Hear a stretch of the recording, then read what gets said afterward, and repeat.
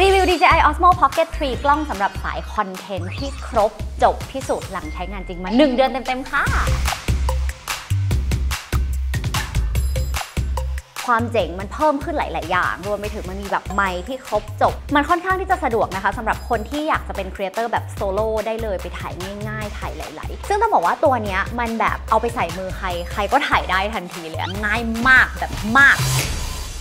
นี่คือ DJI Osmo Pocket 3 นะคะ ซึ่งก็เป็นกล้องที่ฮอตฮิตมาก ๆ ตัวหนึ่งในหมู่มวลของครีเอเตอร์ทั้งหลายรวมไปถึงเพื่อนก็เห็นคนถือไปเยอะแยะด้วยซึ่งเฟื่องเองเนี่ยก็ได้กลับมาทำคอนเทนต์ในช่วงนี้นะคะ แล้วก็มีการถามแบบน้องตากล้องว่าเออช่วงนี้แบบเขาใช้กล้องอะไรยังไงกันหลังจากที่แบบเราอาจจะไม่ได้ถ่ายเองมานานน้องก็แนะนำมาว่าตัวนี้เลย ซึ่งจริงๆเราก็เคยใช้มาแบบรุ่นก่อนหน้านี้เหมือนกันนะคะ แต่ว่ารุ่นนี้เนี่ยความเจ๋งมันเพิ่มขึ้นหลาย ๆ อย่าง มันค่อนข้างที่จะสะดวกนะคะสำหรับคนที่อยากจะเป็นครีเอเตอร์แบบโซโล่ได้เลยไปถ่ายง่าย ๆ ถ่ายหลาย ๆ เราต้องบอกเลยว่าตั้งแต่ซื้อมา อันนี้ซื้อเองรีวิวเองใช้เองบอกต่อนะคะ ก็คือรู้สึกว่ามันเป็นกล้องที่ใช้งานง่ายมากๆจริง ๆ มันแบบเอาไปใส่มือใครใครก็ถ่ายได้ทันทีเลยลองทั้งกับตัวเองนะคะ ที่อาจจะไม่ได้ศึกษาอะไรมาก หรือว่าแบบให้แฟนหรือว่าให้เออเลขานะคะ ที่เอาไปแบบนี่คือครั้งแรกเอาไปถ่ายตามงานวิ่งซีปุ๊บปุ๊บปุ๊บแป๊บเดียวสามารถถ่ายได้เลยนะคะหนึ่งสิ่งที่เพิ่งชอบมากๆเกี่ยวกับตัวเนี้ยคือมันตัวเล็กมากๆ แล้วปกติอะผู้หญิงใช่ปะเราก็จะมีกระเป๋าไซส์แบบไซส์หมาจิ๋วอะสามารถที่จะแบบว่าใบเล็กใบน้อยใบจ้อยเวลาเอาไปเที่ยวอะไรเงี้ยสามารถที่จะเก็บในกระเป๋าของเราได้นะคะพกพาได้เลยเนี่ยมีไมค์ก็ยังแบบโอเคเลยเอาอยู่ แล้วก็เวลาใช้งานค่ะง่ายมากแบบมากสิ่งที่ต้องทำก็คือฟรึบแค่นี้ค่ะพร้อมใช้งานแล้วสวัสดีค่ะทุกคน การปรับอีกนะคะ gimbal นี้เนี่ยถ้าเป็นปกติมันคือจะไว้ปรับมุมแหละแหงนบนแหงนล่างแหงนซ้ายแหงนขวาอะไรอย่างนี้ แล้วเราก็สามารถที่จะแบบ double click นะคะปึ๊บปึ๊บ อ่าตรงนี้นะคะเพื่อจะ recalibrate ให้มันอยู่ตรงหน้า หรือว่าสมมติอยากจะเฮ้ยกลับไปถ่ายคนอื่น 1 2 3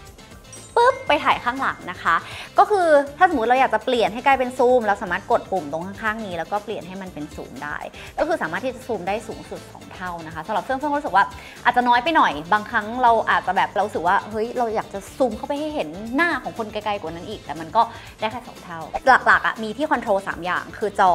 จอยสติ๊กตรงนี้นะคะ แล้วก็ปุ่มกดถ่าย อันนี้ก็คือแบบง่าย นอกนั้นตรงนี้ก็จะเป็นการควบคุมแบบ touch screen ทั้งหมดนะคะแล้วก็เวลาการใช้งานนะคะ ถ้าอยากให้เขาโฟกัสเนี่ยก็คือสามารถกดไปที่สิ่งที่เราจะโฟกัสได้หนึ่งที มันก็จะอะค่อนข้างโฟกัสไปที่จุดนั้น แต่ว่าถ้าเราอยากให้เขา follow เราว่า เธอฉันคือแบบเด่นของวิดีโอนี้นะตามฉันนะจ๊ะ ก็คือสามารถที่จะ double click นะคะ ให้มันไปแบบเนี้ย active track enable แล้วมันก็จะตามหน้าเฟื่องไปตามที่ต่างๆ ไม่ว่าเฟื่องจะขยับไปไหนหรือกล้องจะขยับไปไหน มันก็จะอยู่ในใบหน้าของเราตลอด ซึ่งก็ดีในมุมที่ตามเราไปเรื่อยๆ แต่ว่าหลายๆครั้งอะสมมติแบบอยากจะแบบเออถ่ายหน้าฉันอยู่แต่อยู่ดีก็คือจะมีแขกรับเชิญ2 3 4เข้ามาก็คืออย่าลืมกดออกด้วยนะคะ เพราะว่าเกิดขึ้นจริงแล้วว่า เธออยากจะแพนไปดูแบบท้องฟ้าอะไรไหนหน้าฉันคนเดียวเลย ซึ่งในสถานการณ์ส่วนใหญ่นะคะเฟื่องคิดว่าเขาโฟกัสได้ค่อนข้างดีเลย ก็คือไม่หลุดโฟกัสเร็วโฟกัสตาม แต่อาจจะมีบ้างในสถานการณ์ที่บางครั้งแสงน้อยเออแสงน้อยไปเอ้ยเริ่มงงละโฟกัสตรงไหนหรืออะไรเงี้ยมีมีบ้างนะคะ หรือว่าถ้าสมมติว่าบางทีแบบอยู่ในระนาบเดียวกันกับเรานะคะเขาก็จะมีหลุดหลุดๆไปบ้างว่าเอ้ย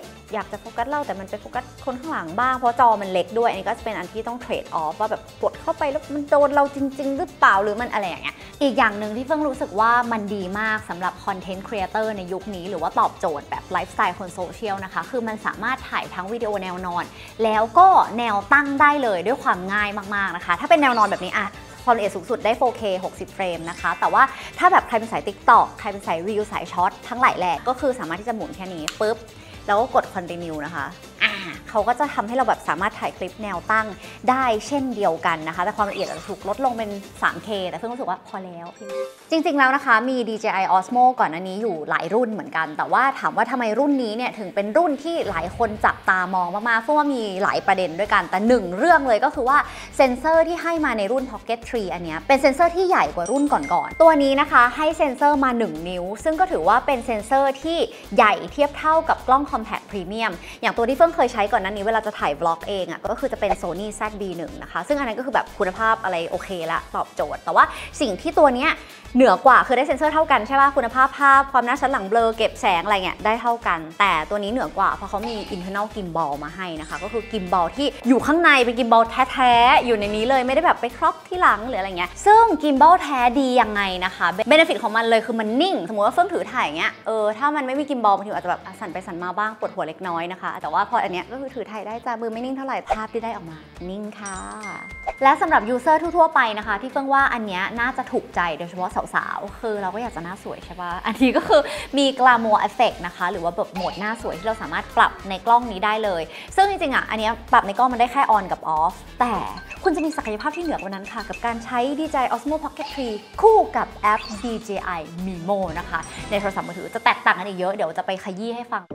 เมื่อกี้ที่พูดไปนะคะ น่าจะเป็นฟีเจอร์ที่จำเป็นสำหรับ normal user ผู้ใช้งานปกติธรรมดา แต่ว่าอันนี้เนี่ยเนื่องจากแบบเขามีความรองรับความ professional ขึ้นมาอีกนิดนึงนะคะเขาก็ยังมีลูกเล่นอีกหลาย ๆ อย่าง ที่เฟื่องรู้สึกว่าเออคนที่พอจะเล่นกล้องเป็น อยากจะปั้นช็อตหรือว่าอยากจะเอา footage วิดีโอไปแต่งสีต่ออะไรเงี้ยก็คือยังสามารถที่จะแบบเล่นกับอันนี้ได้นะคะ ถ้าเป็นเรื่องของการปั้นช็อตไม่ว่าจะเป็นการถ่าย 90 องศาสปิน 180 องศานะคะสำหรับใครที่แบบอยากได้ความเก๋ๆเออลองถ่ายดูก็เฮ้ยก็ดูแบบมีความเป็นเน็ตไอดอลอยู่เหมือนกันนะคะเพราะเป็นมุมมาช่วยอะไรแบบนี้ ก็สามารถเกรดเพิ่มเติมได้ และที่บอกว่าใครอยากขยับมาเป็นสายวิดีโอที่ professional ขึ้นมาหน่อย อันนี้เนี่ยเขาสามารถถ่ายไฟล์เป็น D-Log M mode ได้นะคะ ก็คือสามารถที่เราไปเกรดสีวิดีโอทีหลังได้นะคะ พูดถึงเรื่องระยะเลนส์ก่อน อันนี้เฟื่องรู้สึกว่าเป็นช่วงเลนส์ที่เราสามารถถ่ายได้ครบจบแบบที่ไม่ต้องเอื้อมสุดแขน หน้าไม่ใหญ่เกินไป สามารถเก็บบรรยากาศข้างหลังได้อยู่นะคะ ระยะของเลนส์คือ 20 มิล แต่ว่าถ้าใครที่แบบไม่พอใจอยากจะจุใจกว่านี้อยากจะเห็นกว้างไปอีก ชอบกว้างไปอีก คือใน Creator Kit เขาก็จะมีเลนส์ที่แบบไว้แบบ นี่อ่าแปะเข้าไปเลยเป็น magnet เป็นแม่เหล็กนะคะ มันก็จะเป็นระยะ 15 มิลนะคะ ก็จะเก็บได้กว้างขึ้นประมาณนี้เลยอ่าข้อดีก็คือมันติดง่ายมากกับอีกหนึ่งอย่างทุกคนพอมันเล็กแบบเนี้ยมันดีมากจริง เวลาที่เราไปแบบถ่ายตามสถานที่ต่างๆ แล้วคนไม่แบบ มันไม่ดูแปลกอะทุกคนมันแบบเล็กๆ น่ารัก ไม่เป็นเป้าเสร็จตามากเกินไป ยามไม่ไล่ ไม่เอิกกระเริก คือโครมเกินไปค่ะ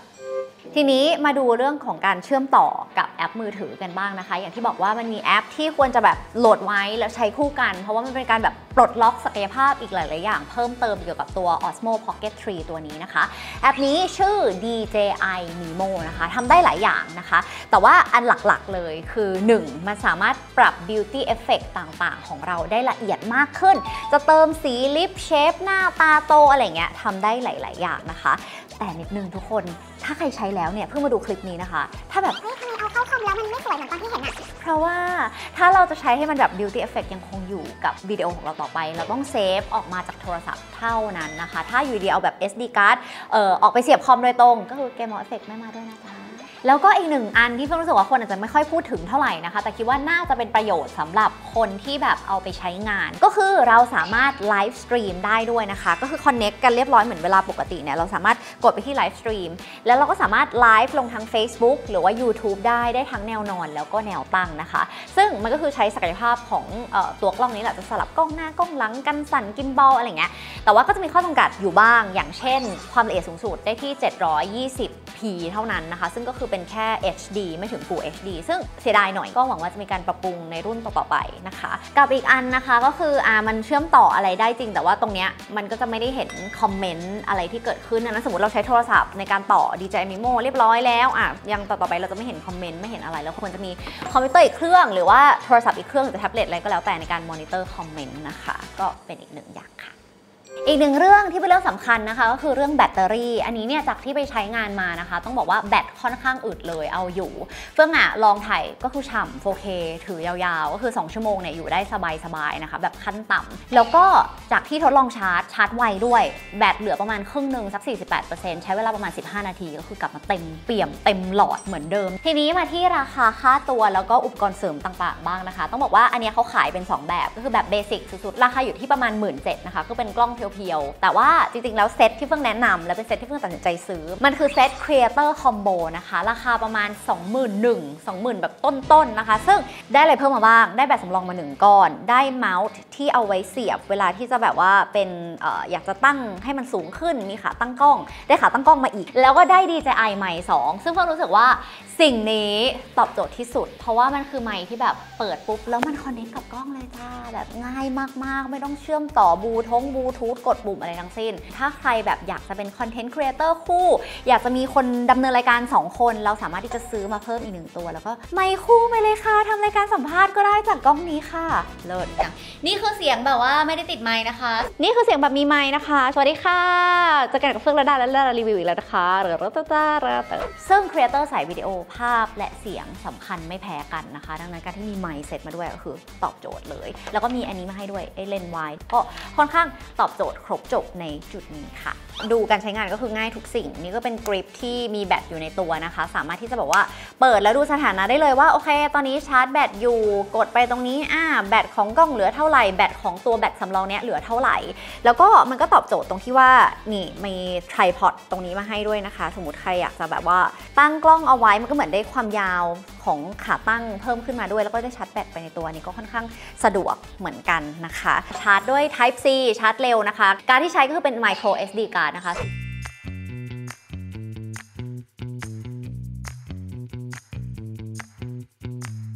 โดยสรุปนะคะ DJI Osmo Pocket 3 ตัวนี้เฟิ่งก็คิดว่าเป็นอะไรที่ครบจบแห่งปี 2024 ที่สุดกับ creator ทุกสายนะคะ ไม่ว่าจะเป็นสาย long form สาย short form หรือว่าเป็นสายมือสมัครเล่นที่อยากจะถ่ายเก็บ moment ต่างๆ ในครอบครัวเวลาไปเที่ยวเนี่ย ก็คือสามารถตอบโจทย์ได้ ราคาค่าตัวไม่แรงนะคะ เมื่อเทียบกับคุณภาพสิ่งที่ได้หรือว่ายิ่งใครเอาไปทำมาหากินต่อเพิ่มรายได้เข้ามาอีกเนี่ยเฟิ่งคิดว่าคุ้มค่ากับการลงทุน คุณภาพไฟล์สีสันการต่อที่มันง่ายเนี่ยมันค่อนข้างโอเคเลยข้อสังเกตนะคะมีเรื่องความ simple to use ซึ่งมันเป็นเหรียญ2 ด้าน กับการที่ว่าเอ้ยมันดูมินิมอลใช้งานง่าย แต่ภายใต้การใช้งานง่ายเนื่องจากปุ่มมันไม่ค่อยมีอะไร เวลาที่ทุกอย่างมันอยู่ในทัชสกรีนอะมันอาจจะต้องมีความตั้งใจศึกษาเรียนรู้ว่าเอ๊ะปัดซ้ายปัดขวาหรือไอคอนต่างๆ มันหมายถึงอะไรนะคะ เพราะว่ามันไม่ได้มีแบบระบุเอาไว้ว่าอันนี้คืออะไรอะไรเงี้ยแต่ว่าจริงๆสามารถแก้ปัญหาได้ด้วยแอป DJI Mimo นะคะเขามีทิวทอเรียลให้เลย ซึ่งก็เออเข้าใจคิดเหมือนกันก็ใครอยากใช้คุ้มก็คือไปศึกษาในแอปอันนั้นได้ ข้อสังเกตถัดมาก็คือเวลาที่เอาไปถ่ายบางทีอยากจะแพนปึ๊บปึ๊บปึ๊บบางทีถ้าแพนเร็วมากไป อาจจะเห็นถึงความภาพโยโย่มีอยู่บ้าง แล้วก็รู้สึกว่าจะให้ความแบบ smooth smooth มันไม่ได้เหมือนเวลาที่เราถือกล้องจริง ๆ เองที่เราอยากจะแบบคุกๆอะไรเงี้ยก็คือจะเป็น trade-off ตรงนี้นะคะ ที่เราไม่สามารถแบบ pan ทุกอย่างได้ทันใจแบบใช้มือ อันที่สามก็คือ insight สุดๆ คืออย่างที่บอกไปว่าข้อดีมันคือการที่แบบเราเป็นผู้หญิงท่านหนึ่ง เรามีกระเป๋าแฟชั่นใช่ไหมเราจะใส่ในใบไหนก็ได้ มันมีแบบข้อสังเกตก็ว่าหลายๆครั้งเวลาปุ๊บปุ๊บเราทำเร็วใช่เราเปิดปุ๊บปิดง่ายปุ๊บมันหมุนหมุนหมุนปั๊บพอใส่ไปในกระเป๋าอะมันแอบอาจจะแบบมีการที่เฮ้ยเอาออกมาแล้วกล้องมันกล้องมันแอบ หมุนออกมาบ้างอะเธอในบางครั้งอะที่เหมือนมันไม่เข้าที่เข้าทางเนี่ยอย่างเงี้ยแล้วเราก็แอบเสียว่าจอเลนมันจะเป็นรอยหรือเปล่าอะไรเงี้ยซึ่งจริงมีวิธีแก้ปัญหาที่ง่ายมากคือเอาเอา